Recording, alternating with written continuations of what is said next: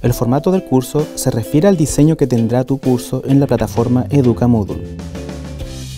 Para modificar el aspecto de tu curso, debes seleccionar Editar ajustes desde el bloque de administración, el cual puede estar ubicado a la izquierda o derecha de tu curso.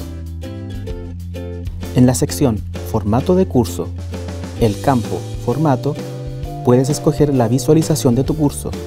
Te recomendamos utilizar temas colapsados. En Número de secciones, selecciona la cantidad de secciones que necesitas que tenga tu curso.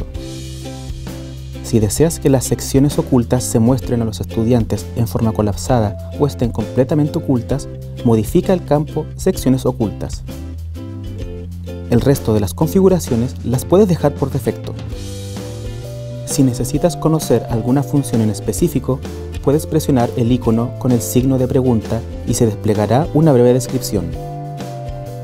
Finalmente presiona el botón Guardar cambios y mostrar, ubicado al final de la página. Ahora tu curso tiene tópicos colapsados, los cuales se pueden ir desplegando uno a la vez o todos al mismo tiempo al presionar Abrir todo.